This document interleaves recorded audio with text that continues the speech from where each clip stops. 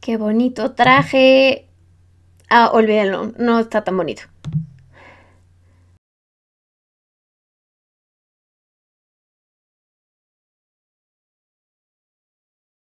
El pasado 26 de febrero, Netflix anunció que el 15 de marzo de 2021 estrenaría una serie acerca de patinaje artístico sobre hielo y hockey. Esta es la segunda vez que el gigante del streaming se aventura a hacer otra serie sobre patinaje artístico. Para los que no me conocen, hola, ¿qué tal? Yo soy Pao Díaz, soy patinadora y también pues creadora de contenidos acerca de patinaje. Este es Have a Nice Day, su guía completa del patinaje en español y el día de hoy voy a estar reaccionando al trailer porque acaba de salir y no lo he visto porque quiero que mi reacción sea así como on point. Entonces el día de hoy lo vamos a estar viendo. El día de hoy voy a estar reaccionando al trailer y les voy a contar qué me parece. No lo he visto para nada. He estado ahorrando mi reacción auténtica y sincera para este momento. O sea, me he estado aguantando todo el día para poderlo ver. Entonces espero que lo disfruten. Ok, bueno, la premisa ya habíamos platicado de ella. Aparentemente tenemos a una patinadora y un jugador de hockey. Eh, en lo personal me gusta mucho este juego de patinadores y jugadores de hockey porque son disciplinas que pues se hacen en el hielo, pero pues son ampliamente diferentes, como diríamos en México, harto diferentes.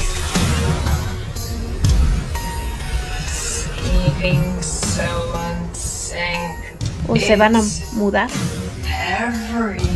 Pero, eh...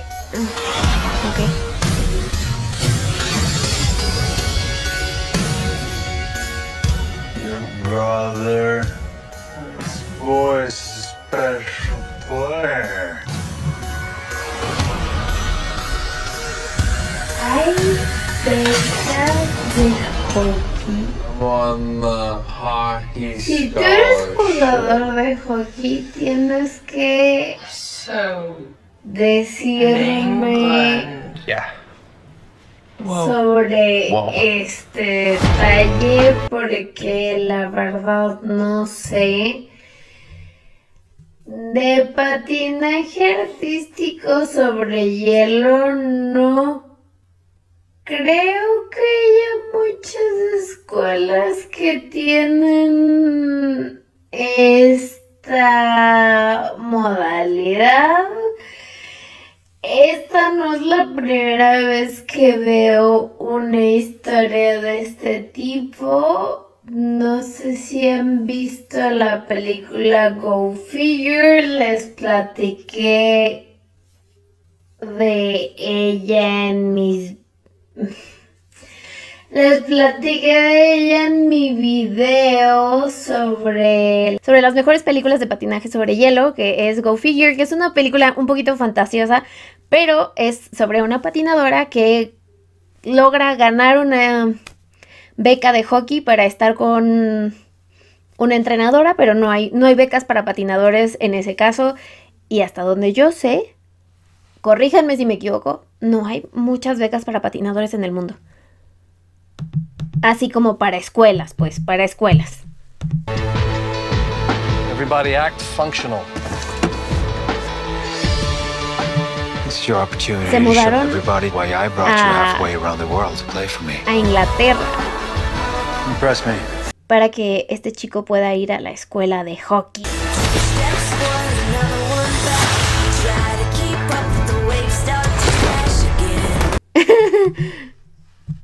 Ok, esto, esto lo tengo que decir. Cuando hay tomas acerca de eh, patinaje, nunca puede faltar una exquisita toma con un freno gigante, con mucho hielo. Oh, le hacen bullying. I was in a pair. Can you find a partner here? Ah, es patinadora de pareja. Buen punto. Can we please just acknowledge how bad that was? I'd feel so much better. I thought you were bringing him down, really.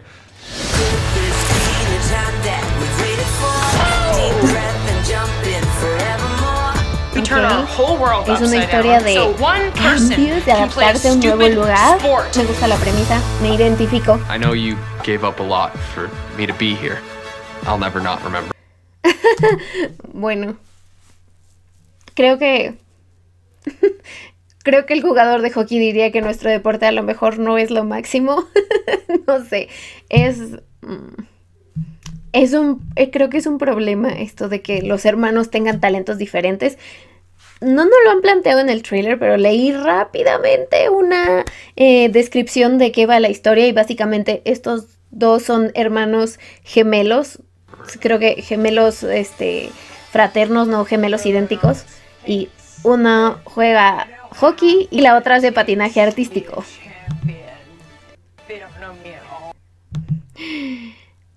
Qué bonito traje. Ah, olvídenlo, no está tan bonito.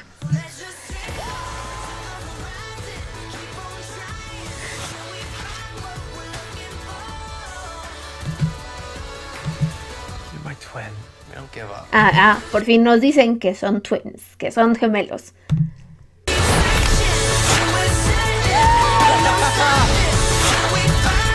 All that matters is that it's you and me.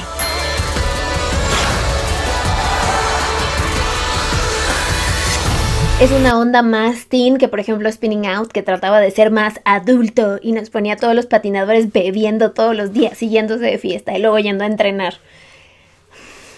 Eso, eso era más fantasioso que un teen drama. ¿No? Díganme. ok.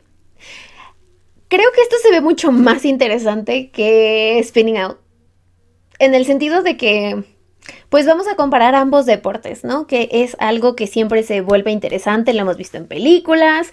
Esta es la primera vez que lo vemos en una serie. También, bueno, tal vez en agujetas de color de rosa había un poco de esto, de que las diferencias del hockey, pero ya sabemos que no tanto, tanto, tanto, tanto. Ay, comezón en la nariz, siempre. En los, en los peores momentos, comezón en la nariz. este. Entonces, esto puede estar divertido. Me gusta también que el enfoque sea como que la relación de hermanos y lo difícil que debe de ser que uno tenga una oportunidad que el otro no tiene y tengan que hacer cambios para que ese hermano tenga que pueda tener su oportunidad. Entonces, está está cañón. Me gusta que sea como que centrado en la relación de estos hermanos y no sea como que un romance, este, historia de Romeo y Julieta que ya hemos visto hasta el cansancio. Entonces, bien por, por ese lado. eh, no sé, tengo muchas ganas de verlo. Esperaba, la verdad, un poquito más de comedia porque el estilo se ve un poco más light, un poco más ligero, pero eh, ojalá el show nos desmienta. Eh, yo les dejé en la pestañita de comunidad la noticia y algunos estaban muy enojados, pero muy enojados con Netflix porque cancelaron Spinning Out en la primera temporada. Y sé que fue una gran decepción, sobre todo porque nos dejaron en un cliffhanger del mal horrible que no sabemos qué pasa después.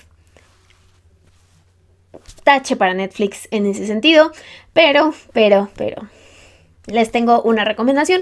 Si les enganchó el trailer, si les gustó y creen que pues podrían darle una oportunidad a esta nueva serie en su corazón, pues compartan mucho este video o compartan mucho el trailer de Netflix, recomiéndenselo a sus amigos porque si no tienen una cantidad astronómica de vistas, eh, no sabemos los números de Netflix, pero supongo que es una cantidad astronómica de vistas.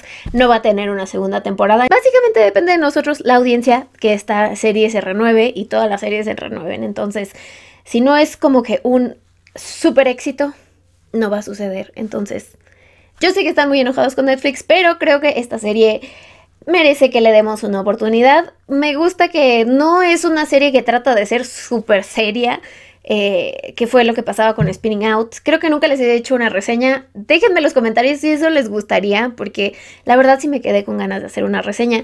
Pe- Pero luego yo sé que a lo mejor mi estilo de reseñas tal vez no es eh, lo que esperan. Así que pues déjenmelo en los comentarios. ¿Tú qué vas a hacer? ¿Vas a ver esta serie? ¿Te la vas a ahorrar porque ya estás harto de que Netflix cancele las series que tanto te gustan? ¿Le vas a dar una oportunidad desapegada? Es decir, si la serie continúa o no continúa, pues no pasa nada. Así tenemos que ser desapegados cuando seguimos este deporte. Ya lo sabemos porque luego los patinadores se retiran. Eh, esto ha sido todo por el video de hoy. Espero que les haya gustado. Cuéntenme a ustedes qué les interesa más, el patinaje artístico o el hockey en esta serie y qué es lo que, pues no sé, les gustaría ver. Está padre que también tienen varias facetas del patinaje, o sea, tiene el patinaje individual, tiene el patinaje de parejas, entonces parece ser que vamos a ver como que una buena variedad de cosas que... Y esa atención que nuestro deporte pues no siempre se lleva en los medios eh, tradicionales o a menos de que sean las Olimpiadas, entonces creo que eso está muy cool. Eh, a los que llegaron hasta aquí, muchas gracias. Les quiero presentar mi nuevo layout.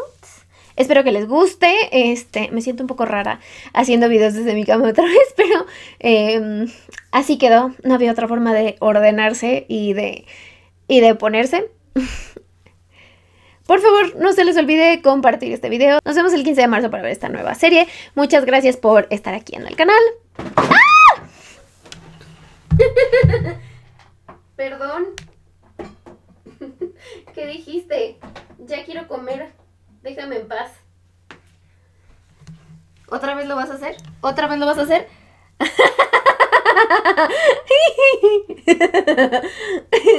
ya voy porque Tuna tiene hambre y estoy usando su plato para recargar mi celular. Nos vemos en el siguiente video. Tengan muy buenos entrenamientos, Sofais. Y si ya regresaron a las pistas, muy felices patinadas. Los quiero.